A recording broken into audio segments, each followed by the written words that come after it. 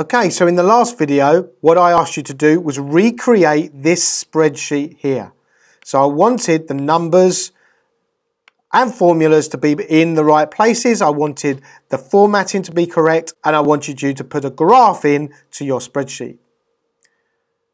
To do that, you were using either the help or you were using Google or YouTube to find some videos and documentation on how to actually do it. So once you've completed this, I want you to then go on to the extensions. So we're going to click on extension 1.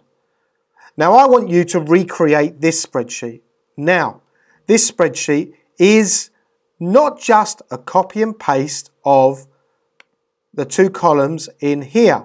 Okay, so if I change, let's have a look at the extension here. All right, let's have a look at the total. 229. If I go back to my modes of transport and I change my bicycle one to 100. So that's at 229. That will change my total.